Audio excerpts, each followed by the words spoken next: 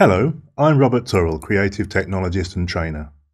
I've been developing applications in one form or another for over 25 years, and like many of you, I moved to developing mobile applications for iOS because I was not only intrigued by the opportunities that iOS app development offers, but also because I simply love what devices like the iPhone and the iPad have done to bring a new level of user experience to our daily lives.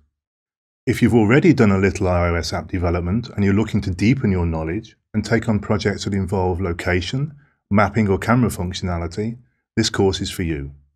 I'm going to start off by walking you through the main features of Xcode 4 and its much improved single window development environment. Then, we'll jump into the more advanced iOS frameworks available to us developers.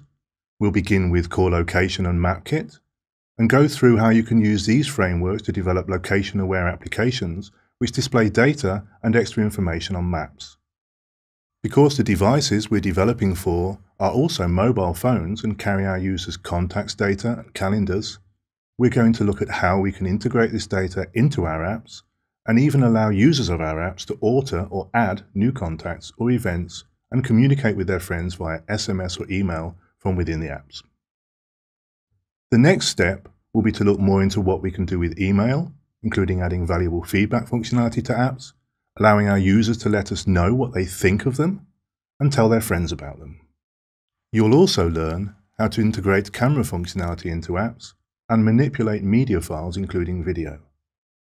We'll finish off by looking at how you can broaden your app audience by targeting both iPhone and iPod Touch, of course, and iPad platforms through the creation of universal apps.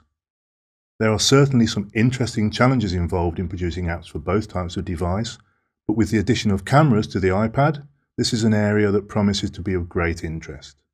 Project code is available for you in the Project Files folder, and we'll be working through this code as we progress through the course. My aim is to provide you with the tools you need to start building some exciting new advanced apps. So, get ready to dive in.